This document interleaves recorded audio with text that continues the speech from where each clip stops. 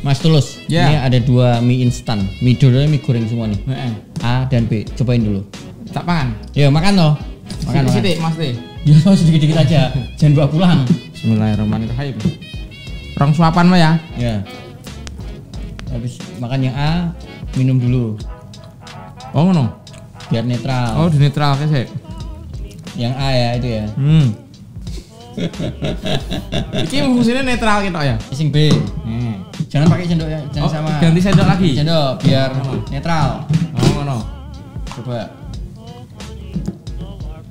Bismillah.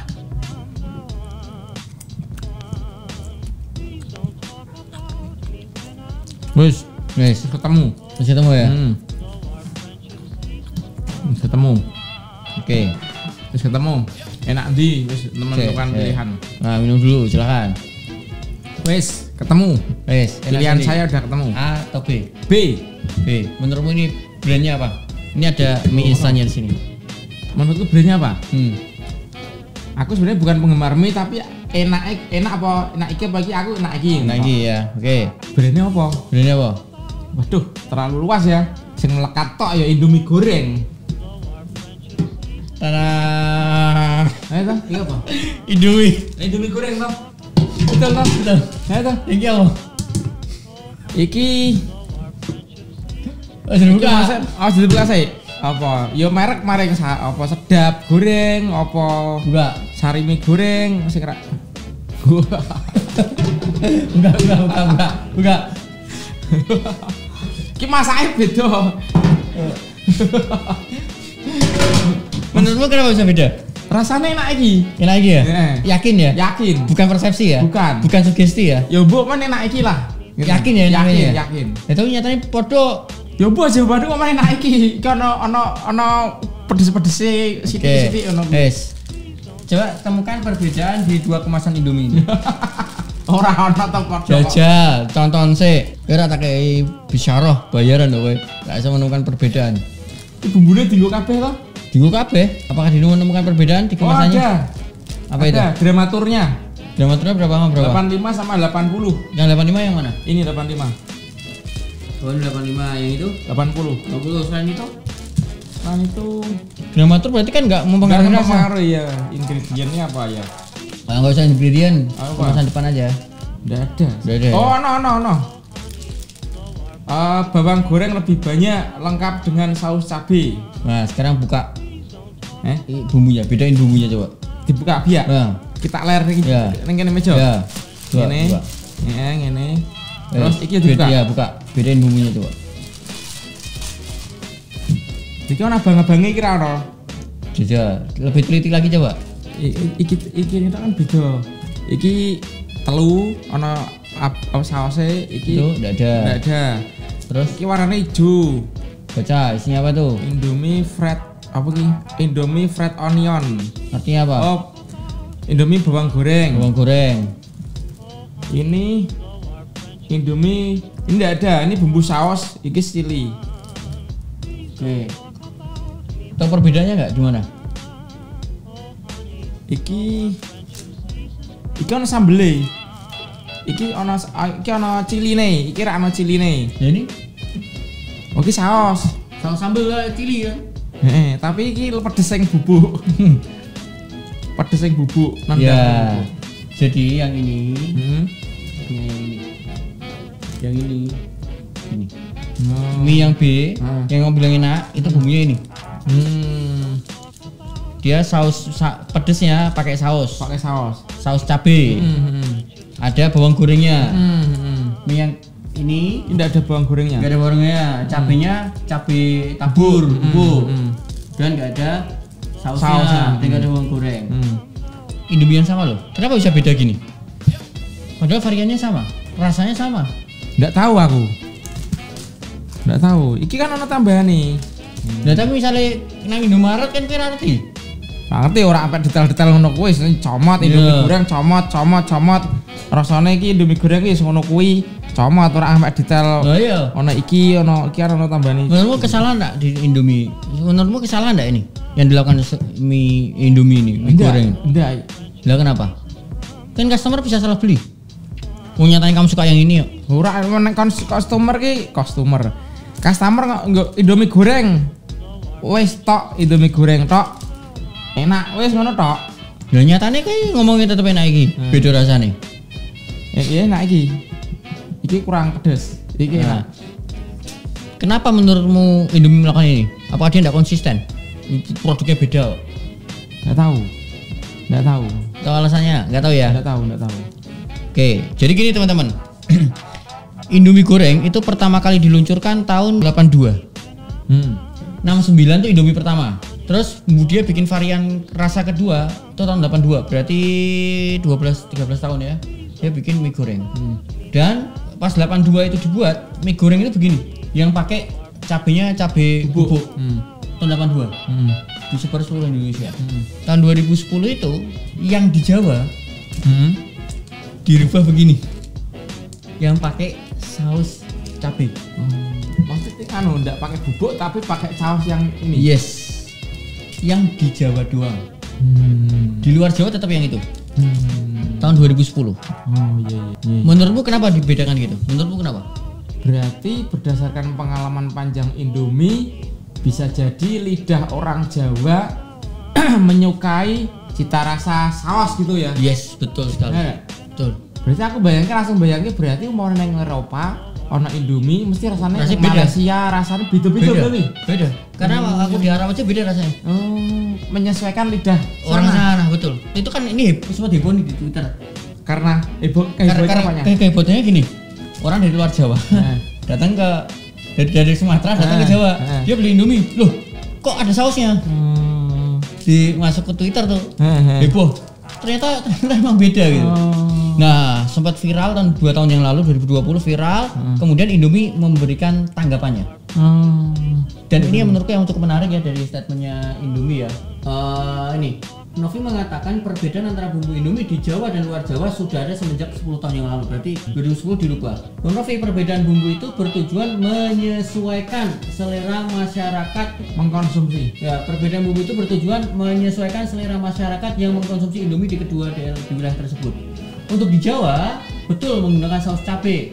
Untuk yang luar Jawa menggunakan bubuk cabai. Ya. Kenapa begitu? Diperkuat lagi sama satu lagi dari GM-nya Indofood nih ngomong. Memang benar Indomie memiliki dua SKU. SKU itu dua dua produk ya yang disesuaikan dengan lidah masyarakat. Nah, kenapa bisa begitu? Tim marketing Nadel Indofood telah melakukan tes dan mendapatkan pandangan yang berbeda dari konsumen Indomie, Indomie di beberapa daerah. Nah, ini kalimat yang menarik nih. Sebelum meluncurkan produk ke pasar, tim marketing Nadel kami melakukan tes dan mendapat insight yang berbeda dari masyarakat penggemar Indomie goreng di Indonesia di beberapa daerah. Gitu. Hmm, iya. Iya. Menurutku ya guru tok berarti lidah Aceh, Sumatera, Jawa itu beda-beda. Kemudian Indomie menyesuaikan dengan eh, Selera masing-masing. selera masing-masing. Betul sekali. Betul, hebat sekali ya. Tapi pertanyaannya coach, kenapa ini kok tidak dibedakan Sumatera, Jawa gitu-gitu? Oh, ma- ma- malah tercipta Ra anu Indomie rasis ya? Iya, bukan Indomie rasis. Iya, Indomie rasis. Indomie rasis sekali ya. Enggak, gitu. Jadi memang ini rasanya rasa original. Yang original Standar. standar. Nah, nah. Dan mungkin di beberapa brand yang lain mungkin akan melakukan hal yang sama. Hmm. Mungkin, mungkin. Mm-mm. Misalnya McD di luar negeri kan nggak ada yang pakai nasi. Oh. Di Indonesia yang pakai nasi. Oh. Karena gitu, gitu, gitu. karena makan makan ayam udah pakai nasi kan Indonesia kan kayak belum makan ya. Artinya apa coach? Ketika sebuah brand me Ojo coach ah. Oh iya, eh, eh, dot. Artinya apa dot? Nek berarti sebuah brand itu eh, sampai detail-detail menggolongkan produknya sesuai dengan keinginan customer. Artinya tidak semua customer bisa dibuat happy dengan cara yang sama.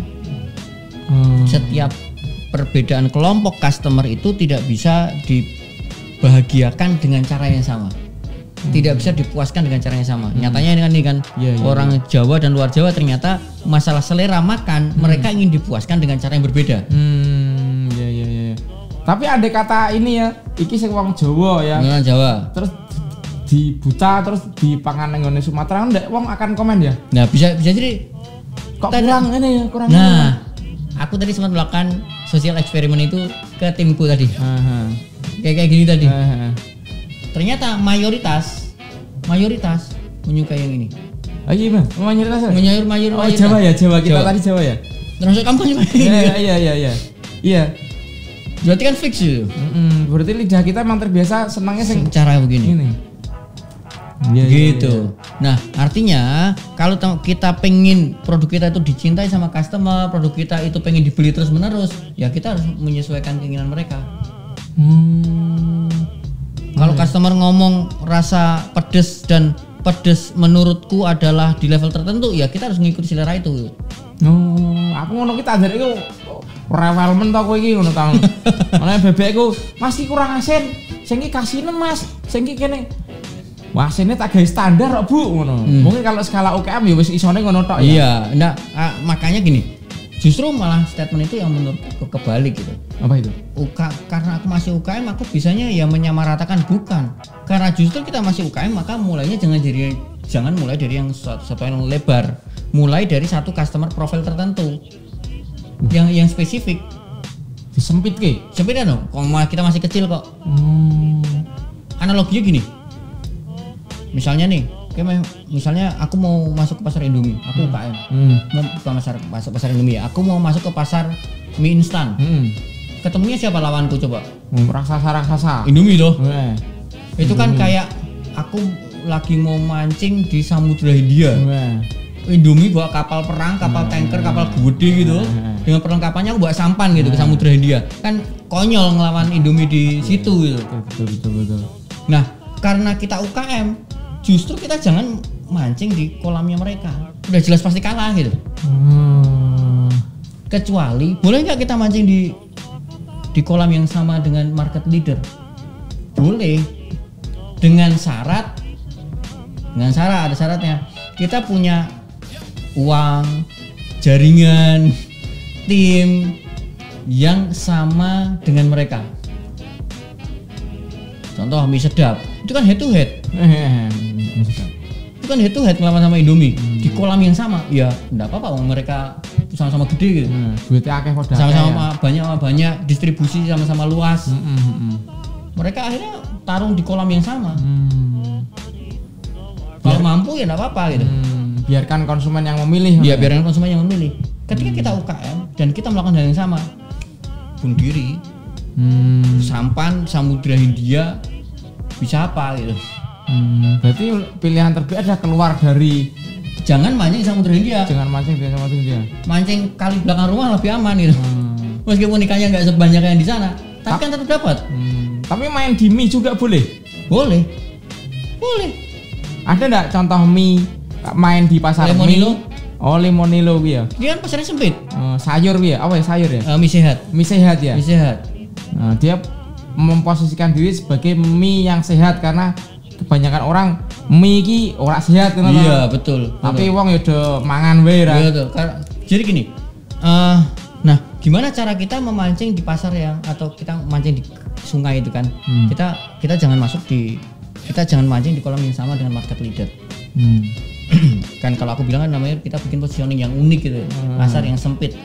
Nah caranya gimana? Misalnya gini, orang ini customer nih, Hmm. Cara dia makan kalau ditanya nih misalnya Hmm. kebutuhan pengen makan mie mie yang standar mie instan yang enak menurut kamu yang ideal menurut kamu pasti dia akan menyebutkan misalnya 20 20 apa ya 20 standar lah mie yang enak tuh harusnya gini Ini, mie yang yang hmm, ideal hmm, 20 gitu kan Hmm. Indomie mungkin memenuhi 16 gitu Hmm. Oh. Yes, yes, yes. mungkin ada yang tidak terpenuhi Iya. misalnya tanpa MSG Iya. tanpa pengawet itu kan itu kan ada Ah, namanya ya ya ya. Nah, pasti di setiap produk, setiap kategori, setiap kolam pasti ada kebutuhan tidak terpenuhi. Itu pasti. Oh, Katakan dari 20 kriteria penonton Yes. kuwi, 16 itu ada 16 di- ada Indomie. dipuaskan sama Indomie, ada 4 yang ada tidak empat dipuaskan. setelah itu lah ini bisa kita masukin. Yes, masuk Yes, di yang itu. empat. Makanya lemonilo ki Lemonilo. lemonelo, lemon lemonilo. lemonilo. Ini udah sebut berapa kali ya lemonilo ya? Harusnya yang sekali aja yang endorse. Aku ora tau mangan kuwi soalnya larang. Anakku sing nguyang-nguyang. ya beli mie itu larang. Ya kan habis ini dapat bayaran tak pohos kan. Dan ini apa kui masuk aja katakan tanpa MSG sehat ya. mengandung sayur bla bla bla bla gitu. bla. Bla itu kan Apa pun itu. apa pun itu. Tapi dia memakai celah yang tidak terisi Yes, oleh Indomie betul sekali. oh gitu. Itu masih bisa bermain ya? Bermain dan Indomie kan nggak bisa memuaskan itu nyatanya Iya iya iya iya dan ternyata dia sampai saat ini ceruknya masih betul dia, masih terisi dia sendiri Iya. ya. Oh gitu siap siap siap. contoh lain lagi di mie instan juga Apa wi? yang mie sukses mie apa ya yang yang ada dagingnya asli loh lah Oh jenengnya mewah. mewah ya Teko judulnya dok, teko ngarone wis anu ya. nah Wes. itu kan brandingnya langsung betul mewah. kayak, kayak tadi ada 20 kebutuhan 16 sudah dipenuhi sama Indo- sama Indomie ada empat mungkin yang dua dipenuhi sama Lemonilo yang dua dipenuhi sama ini gitu dan setiap pasar selalu ada kan akan ada begitu Mau mesti saya ono sing tuku mesti ya. ya ada ya nyatanya mungkin mungkin ada ya Hmm. Nah, aku belum tahu, belum tahu ngerti ya belum tahu ya Belum tahu. nah memang makomnya beda-beda kamu tidak pernah melihat ini berarti Tidak pernah, tidak berarti dia udah bener berarti iklannya Ora ora tahu nyasar aku ya. orang tidak pernah nyasar diri Monelo yang mental apa meneh bakmi mewah rasa. Nah, Indomie kebakaran jenggot Oh, karena karena ide ini akhirnya dia bikin ini. Nih, real meat. Tuh, belakangnya tuh, yang merah sama yang yang ungu tuh. Itu kan itu produk dibuat era untuk menandingi mie, mie mewah. Oh berarti oh berarti akhirnya merasa ceruknya dimakan Yang sama dimakan, mie mewah ah, itu dia Dia bikin ambil- varian baru. bikin varian baru yang di segmen itu mewah Yes, gitu. Betul sekali. Oh, Tapi aku kadang jatuh cinta sama mie mewah ya, aku belinya mie mewah. oh gitu ya. Sebenarnya kalau dia mau pun dia makan lemonelo bisa. Dan dia udah bikin Udah bikin mie sehat coba mbak. mie sehat Indomie. bisa Indomie tapi um, kalah di, di, di pikiranku Wis kalah. Telat ya, telat, ya. Telat, telat. Oh iya. Ini Indofood juga toh. Indomie juga Super Mac Indofood. Oh dia ini masuk sing sehat-sehat. ya ini Nutrimi Indomie Nah pertanyaanku kenapa Indofood dia kok bikin brandnya banyak? siapa In, apa Indofood? Indofood ya karena per segmen beda-beda Indomie, Super Mie. Eh, sama Sarimi? Sarimi Dulu bi biar aku senengnya Suarimi. Suarimi ini mesti paling enak karena dulu aku ke SD ya.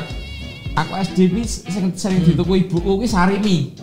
Yang sering dibelikan ibuku Sarimi, mie instan ya Sarimi. Terus Indomie itu masih harganya berapa ya? Larang lah. hmm. Sarimi dulu lah. Segmen bawah ya ibuku tuh Sarimi. Tapi begitu ke sini oh apa mungkin boleh Sarimi saiki angel. Susah nyari Sarimi.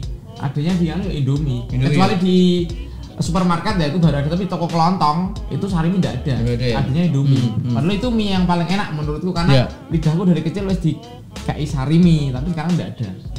nanti coba dicari lagi sumbernya setauku Sarimi itu prosesnya Indofood punya Sarimi itu prosesnya dibeli brandnya Oh. bukan bukan dibuat sama Indofood coba cari mbak menciptakan brand tidak Ya. diciptakan dia membeli membeli membeli wis jadi gitu ya. Oh iya udah jadi dibeli gitu.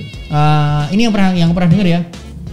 Kalau nggak Sarimi atau Super Mie aku nggak tahu, itu dibeli sama Indofood karena bumbunya mereka lebih enak. Bumbu Sarimi, Hmm. Kemudian bumbu itu ditaruh di ayam bawang. ayam bawang Indomie. Indomie Indomie. Berarti pada tau omonganku, Sarimi itu paling enak.